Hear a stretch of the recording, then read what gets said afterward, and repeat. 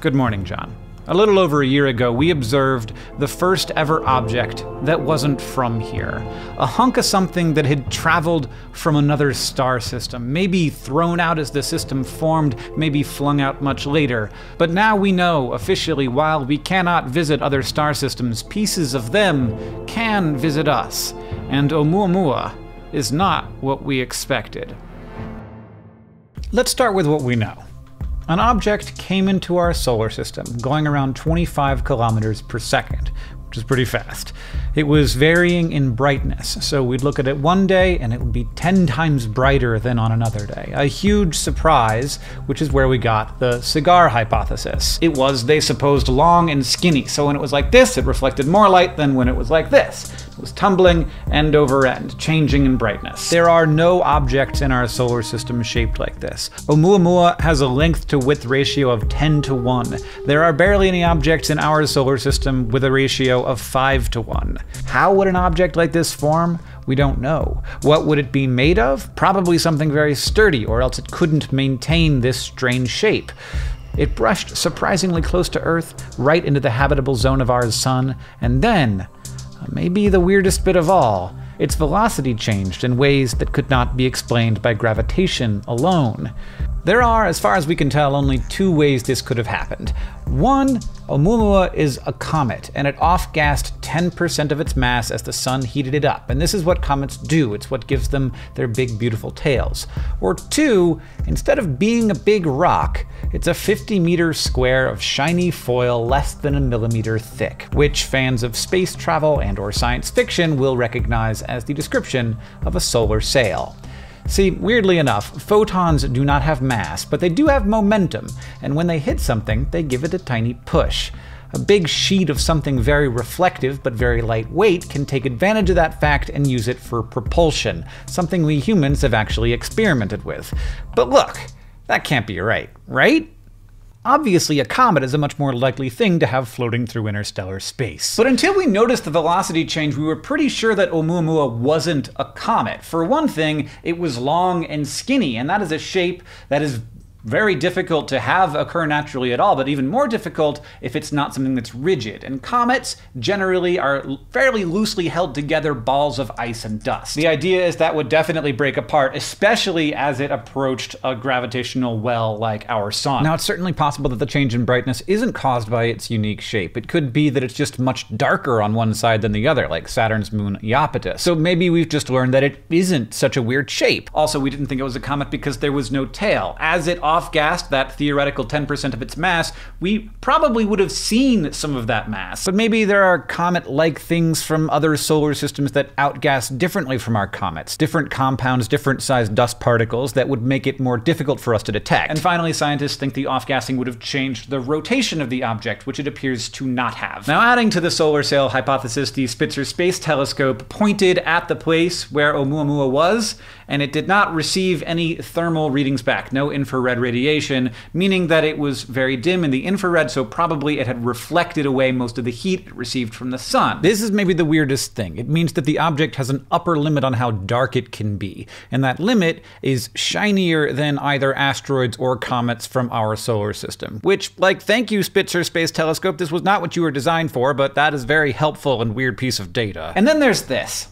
This shouldn't have happened. The telescope that spotted Oumuamua does a whole sky survey and is not designed to catch things like this. In fact, it didn't spot the object until it was well past its peak brightness. The fact that the Pan-STARRS telescope caught an object like this in the first 10 years of operation means statistically that these events are probably very common. But according to our computer models of how solar systems form and how much stuff they throw out, it should not be common. And this discovery, if it's natural and common, means that we were off by like orders of magnitude. And it's actually wonderful news that it did occur, because if it means it's more likely, then we will have more chances to study objects like this in the future. Because we definitely do not understand what this thing was. I don't know, maybe there's a natural way for a solar sail-like object to form in the galaxy, who knows? In general, jumping from this is confusing and weird and I don't understand it to it's aliens has tended to be a bad way to answer questions in the past. And as Carl Sagan said, extraordinary claims require extraordinary evidence, which we, as Oumuamua speeds off away from us, do not have and will never have. Now, of course, arguing against the extraterrestrials created a light sail hypothesis are two main things.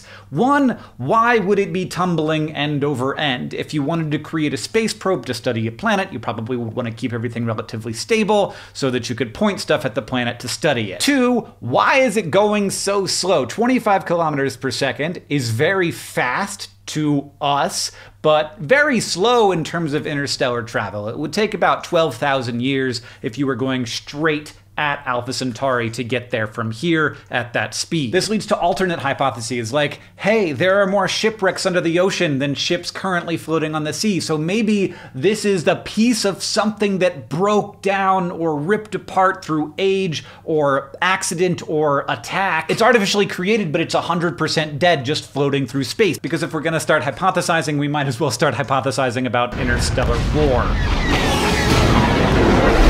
But unless this is an extremely uncommon occurrence, debris from an event like that would have to be way too common. Like, I would just be very sad if there was that much detritus floating around in the galaxy. A theory I haven't heard from anyone except my own brain is that maybe this thing is tumbling end over end and not going very fast because Whoever sent it wanted us to see it. Maybe they thought if there was some group of intelligences significantly advanced, they could chase such an object down. Maybe it's nothing more than an interstellar greeting card, blinking off into the distance, unreceived.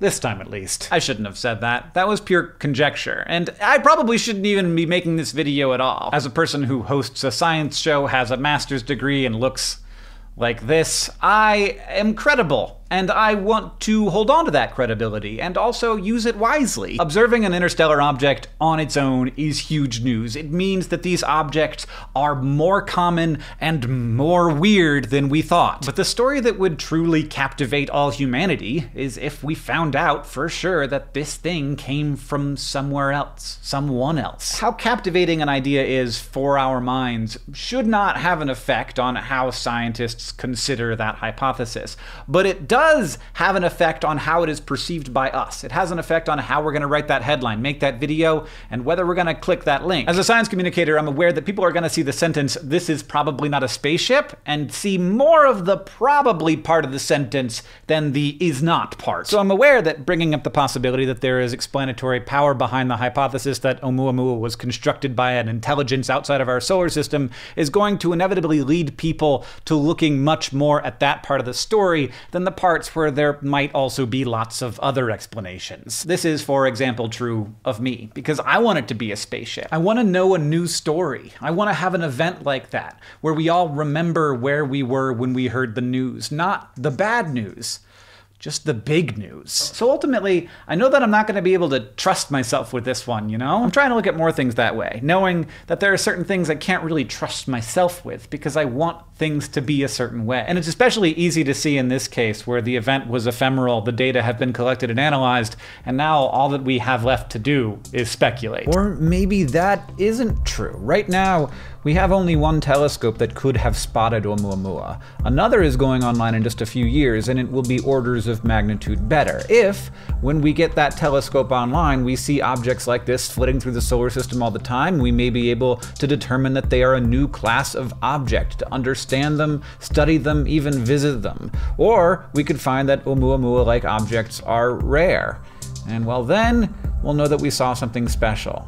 And that will be a big deal. But maybe the best argument against the alien hypothesis is simply that the universe is weird. Many times we've seen things in the night sky and had no way to explain it and thought, oh, this is it. Now we find the others, and then science caught up to observation. This is an object unlike any we have ever encountered before, so maybe the fact that it's weird isn't actually that weird. John, I'll see you on Tuesday. I read a lot of good articles, listened to a lot of good podcasts, watched a lot of good videos prepping for this uh, this one. So I've linked to some of those in the description.